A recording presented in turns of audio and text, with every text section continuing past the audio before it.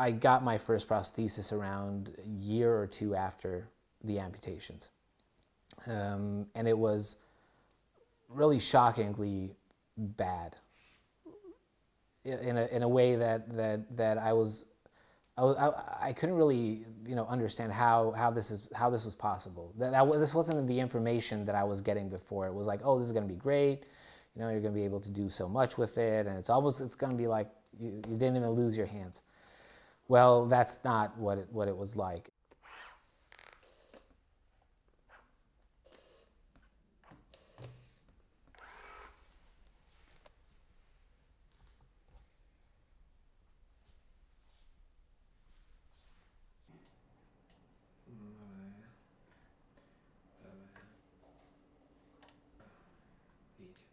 when you get a prosthesis like this, you are basically handed the device and are told, okay, well, now go use it.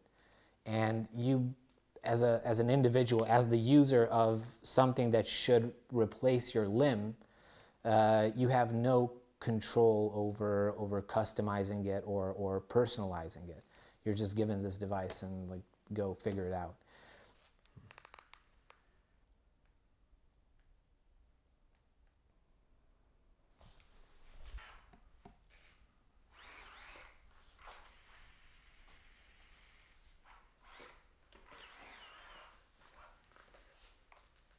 Like if I get a phone and it costs a, a fortune and I can't like it's it's what it is and I can't change it, I, that I'd be I'd be furious. And here we have these limbs that that are supposed to be parts of our bodies, and we can't really do anything with it. Uh, this was really really you know a shocking experience. I just couldn't place it. I, I couldn't understand it.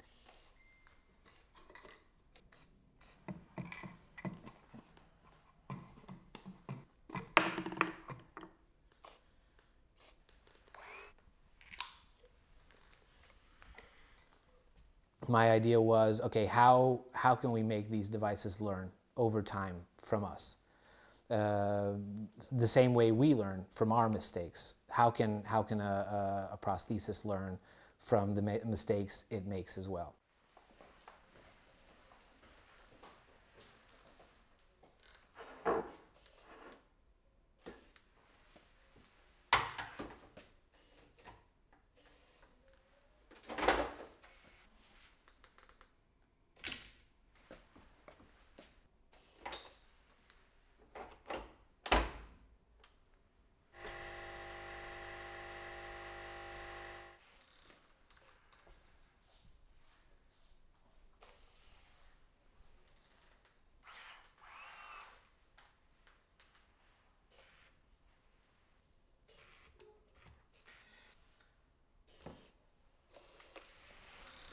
If we have enough of these signals, we, we have enough different places that we're reading these signals from, we can look for patterns, patterns of, of electrical activity. So we can tell that certain muscles are being uh, activated, certain muscles aren't. And if we teach this to a, an artificial intelligence, then that system can, can say, okay, this that I'm reading right now, this looks very much like what I was taught to be closing the hand. So I'm going to say that this, per, this signal, um, the person that's generating the signal, they're trying to close their hand, so I'm going to close the hand.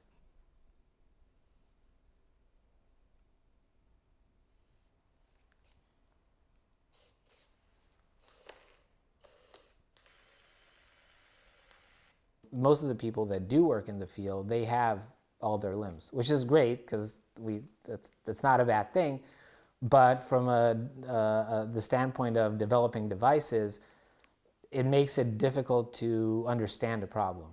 Functionality isn't always the primary uh, primary goal of, of people using these prosthetic devices.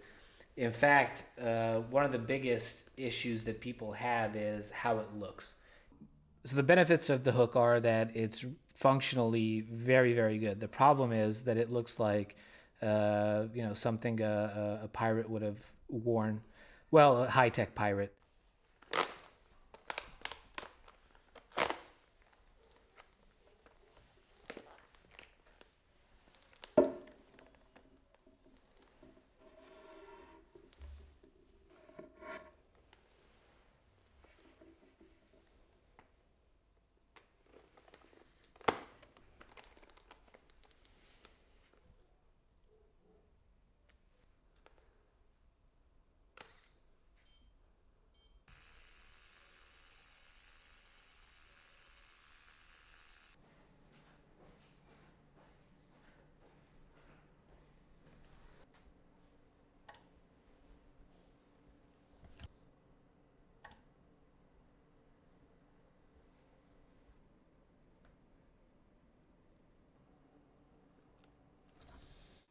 If the control, if the if the sensory feedback gets good enough, industrial use, uh, research use, you know, going to going to places where where you wouldn't want to send a human, you'd want to send a robot, but you have to be very precise in how and what you do. You need to be able to to uh, to basically feel what that robot is feeling as closely as uh, as possible, and you need to be able to control that robot as as you would control yourself.